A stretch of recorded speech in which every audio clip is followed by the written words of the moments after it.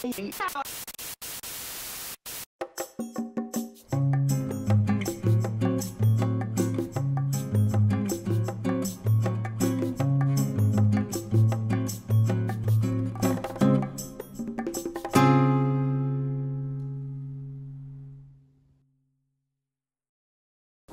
至于男性摄影家，一个是我的朋友张海儿，嗯嗯，他其实在西方或者很长时间一直很有名的一套摄影叫做《坏女孩》，嗯，其实就拍一帮性感女、性感性感的模特，她亲自化妆、亲自做，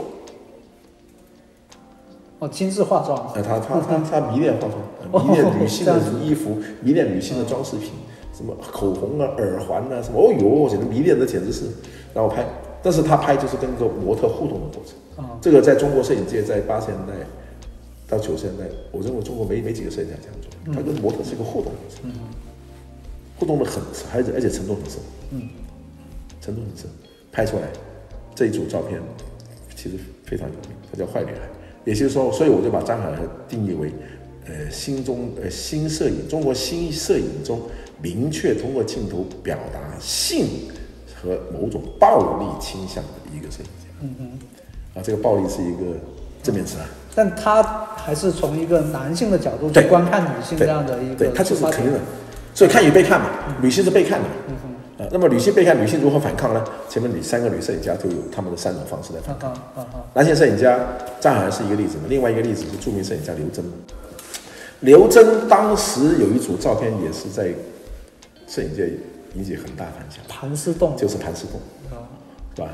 呃，他其实拍了一组，盘丝洞是其中一其中一个类目。嗯哼，他后来拍了很多这种古装古装女裸体，就是头上戴了一个帽子，身上是个裸体。啊，对，好像在那个演戏剧，但实际上就是裸体的。啊，后来我还曾经跟刘真在北京新北京画廊做过一个个展，那个展览也很有印象。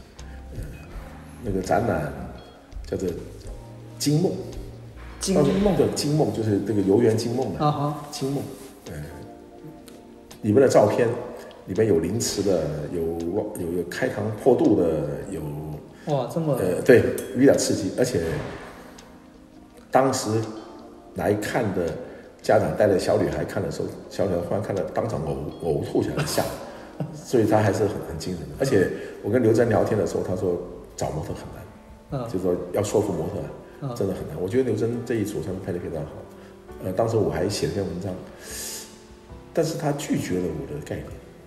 我的文章当时叫器官政治学。嗯他想了半天，这个器官太生理化了吧？改名吧，叫微观政治学。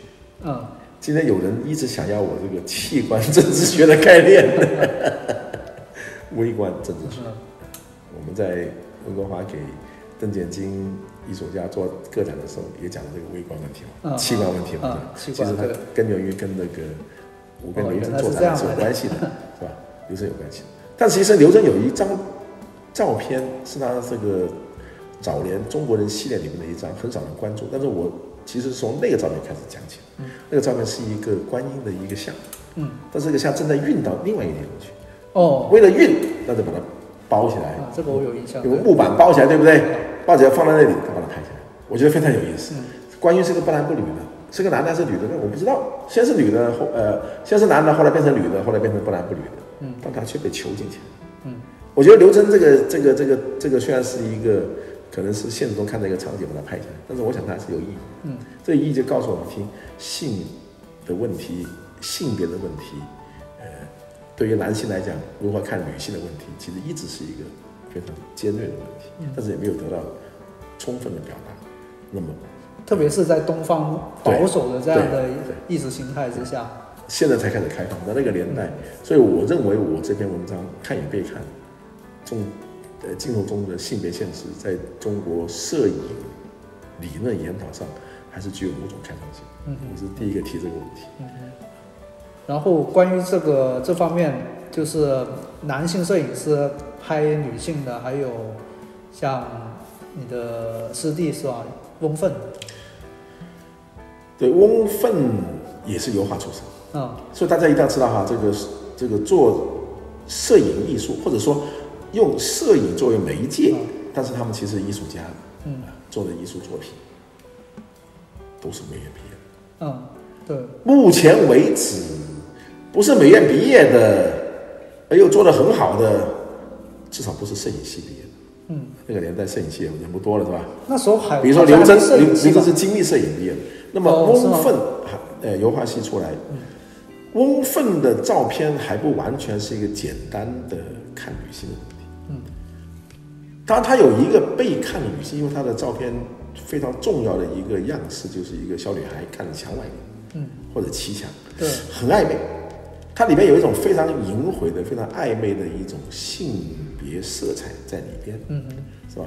嗯，而且是有时候是站在一个豆蔻年华的天真少女的这种眼光，嗯，但是这个眼光是被我们所关注，嗯哼，是吧？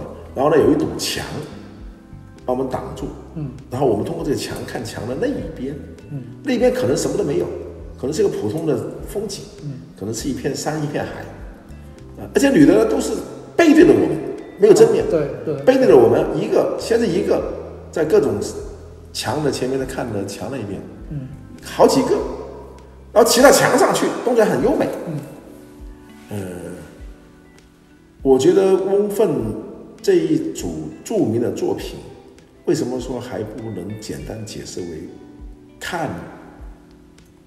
是因为大家不太知道，它是是有一种翁奋还是一个某种意义上，翁翁奋还是一个潜在的哲学家。啊，他对哲学的研究的深度让我吃惊。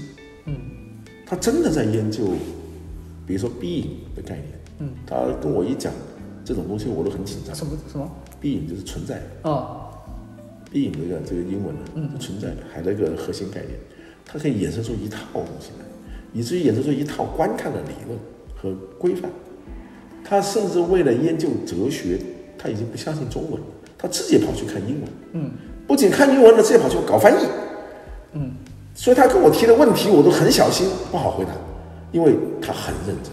嗯，我很少看到，至少是广州美院毕业的艺术家都是爱玩的艺术家 有这样的一种钻研。嗯当然，他也是一个生活的高手。嗯，喝好的红酒，喝好的咖啡，啊，告诉你怎么样生活，怎么样休息，哦是吗？怎么样穿着，一切都非常讲究，呃，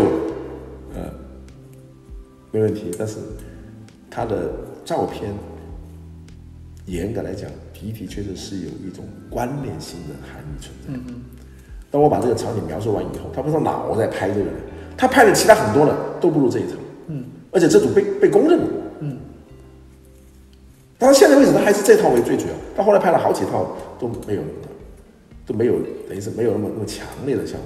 嗯，所以呢，呃，因为这种形式感已经深入人心。对，所以所以某种意义上，翁凤更像是一个观念摄影家。嗯，呃，这也就是说，他的照片是有一种观念在推动他的整个场景的布置。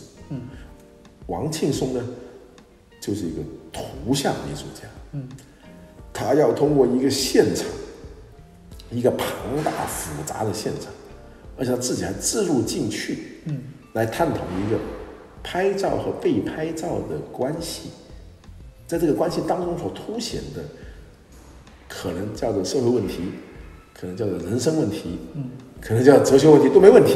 嗯他在这里面凸显一种复杂性，所以作为图像艺术家的王庆松的整个作品的复杂程度和涉猎之广是很惊人的。嗯嗯。